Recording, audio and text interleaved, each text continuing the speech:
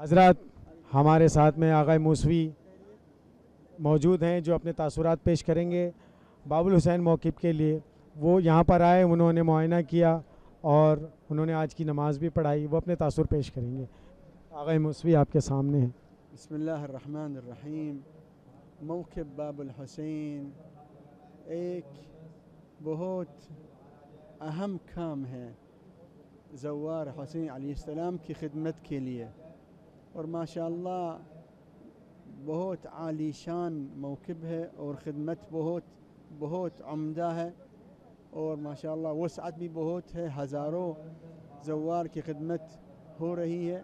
اللہ تعالی مزید توفیق عنایت فرمائے اور اللہ تعالی سارے مؤمنین جو مشتاق زیارت، ان کو زیارت کی توفیق عنایت فرمائے۔